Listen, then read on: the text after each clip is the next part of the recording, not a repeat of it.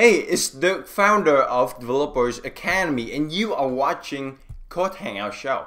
In this series, in this episode, and the next few episodes, we are going to talk about everything about 3D Touch in iOS. Yes, 3D Touch is the Force Touch for iPhone 6s and iPhone 6s Plus. This feature, it adds another layer of interaction, another layer of interactivity into your app using Force Touch. And we can see that Apple integrates all of their uh, software using Force Touch or 3D Touch. So we should do that in our app also, right? So have you ever wondered how you can do that? Let's do this in this series. On the screen right now, you will see the complete videos uh, the complete project that we will develop this app together in this series. And you could see uh, on the interaction we can peek to see the photo. We can pop it to see the complete photo view controller or the details of that post. We can uh, using shortcuts in the home screen. And from those shortcuts we can do some more interactions adding so much more convenience to your app so let's do this. Here is the start a project, when you download the start start a project right down below, just click the button right down below and you will text to my page and you can see the start project once you open it. It's a very simple master detail view controller and forgive my voice because I have a little cold. So uh, from this master detail view controller, we displays the beautiful Photo Mania app. When we click onto a photo, we can see the details of the photo, okay? And what we want to do is we want to add another functionality into this. In this video, we want to do something like when we just force touch, we just tap a little bit harder and we can peek that is the term. We can peek we can see the full screen of this image right here okay? So let's do this.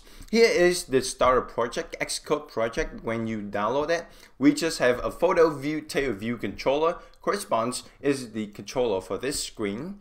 And this screen is the photo view controller. Cool? Alright, now in order to have the 3D touch in your app, you will have to first make sure that we want to register for this app or this controller use 3D Touch. But the problem is not every devices have the functionality of 3D Touch. So we have to check for that. So in the Photos Table View Controller, which is the class here, this class, we want to have the peek, right? When the user tap harder on a cell, then we will peek the photo, then we will see the photo. In the view did load, I will check if the trait collection, it has this is the property of a view controller that we can see literally like what device we are running the app on and we can have some property of this also. So this trait collection we can inspect if force touch capability is available equals equals dot available then it means that this device supports force touch or 3D touch. Now, I know that on the Apple Watch, this says that it is Force Touch. On iPhone, this says 3D Touch. But let's call that 3D Touch, okay? Because we are working on an iPhone. So if this device is available for us to use uh, 3D Touch, then I will register for previewing with delegates. This is another property, another extension of the UI view controller in iOS 9. It allows us to implement the delegate of the UI preview um, of the previewing with for this UI view controller. It allows us to peek that a cell and we will displays the whole view controller in a screen. And what happens is the whole thing, like this photo view controller, it will blur it out. Okay, so we want to have this self, this photos table view controller, to be the delegate of the previewing. Okay, and the source view is our table view because we want to have the tail view to be blurred out. Cool. Then after that, Xcode will yet us as always when we declare that we will conform to any delegate or protocol, then it means that we'll have to implement the protocol. And as always, when we want to implement a protocol, the methods in the protocol, I will just use an extension. So we have an extension over here so we can factor the code. I will extend the photos table view controller and it is of type it will conform to UI view controller previewing delegate. That is the pro protocol new to UI view controller in iOS 9. Okay, so in this protocol, let's have a look at the interface of that. I will hold the option, uh, I hold the command key, click onto this UI view controller previewing delegate, and it will load a little bit. And you can see that this method, there are two methods, public methods that we'll have to implement. It is available only in iOS 9.0 and above, okay? And one of those is previewing context, view controller, previewing context, view controller for location, and we're given a location, okay? We will implement that. The next one is previewing context, previewing context, commit view controller, okay? So two methods. The first one allows us to specify what is the view controller that we want to display. The second one is we how when you are given that controller, how you will interact, how you can handle you can handle that view controller. So let's talk more about that in details. Okay, I will go back in here.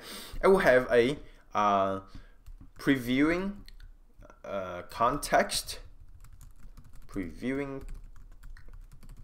context, okay? And this is of type previewing context view controller, uh, view controller for location, okay?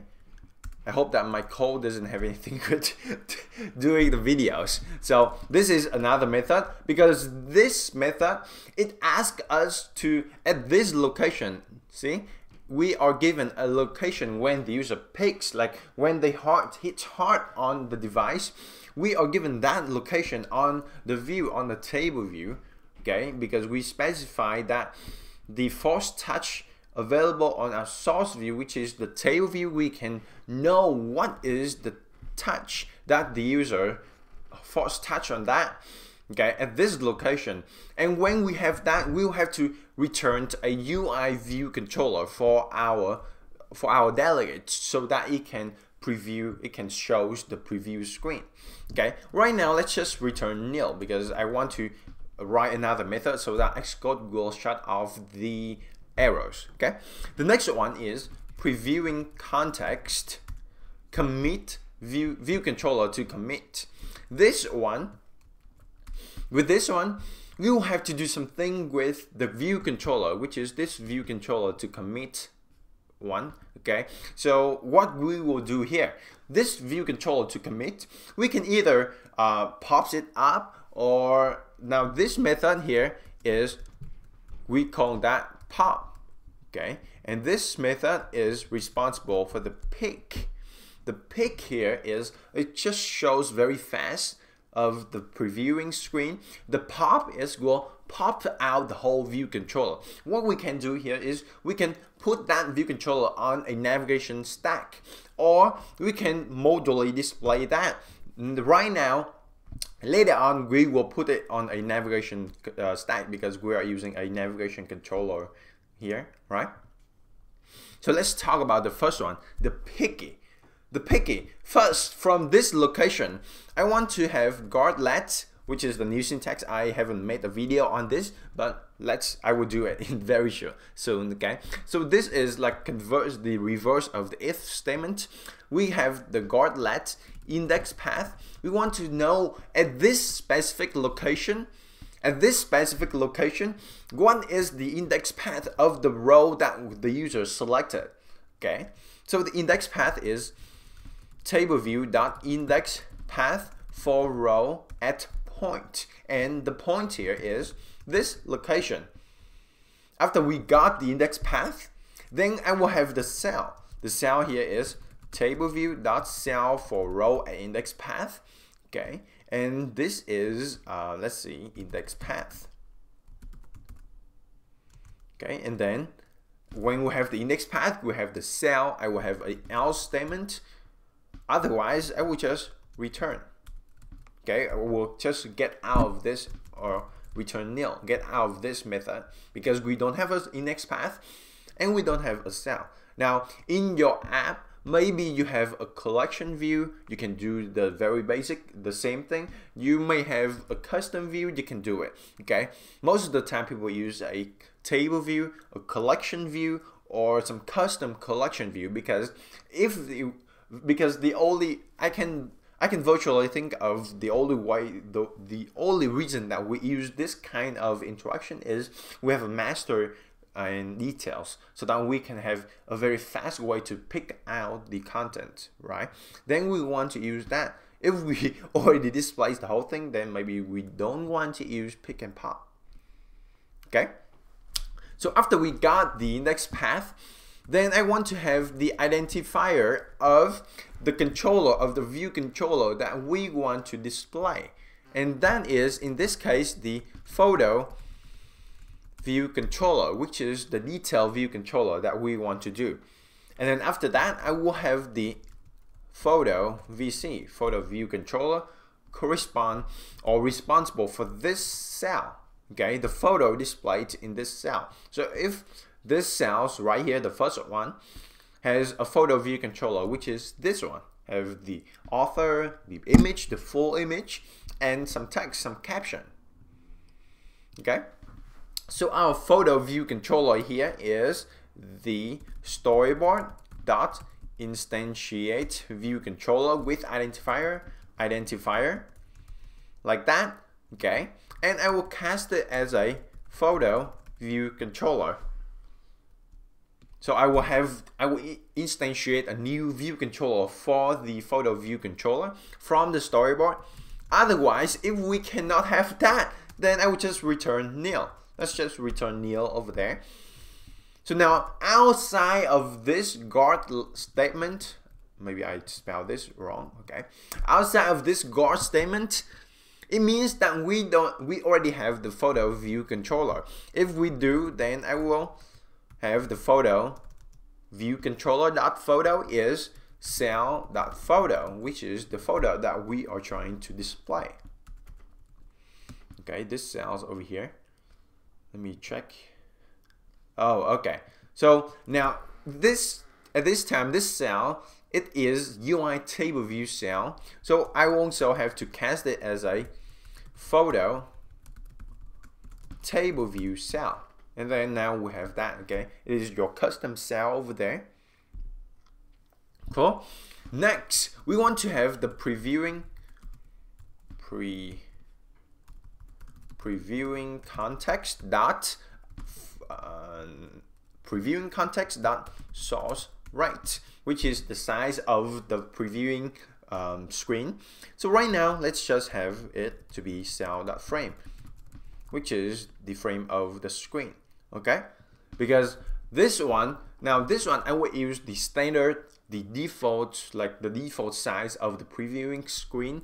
You can configure that also okay? So let's run the project to see how it looks like. Right now you can run the project already.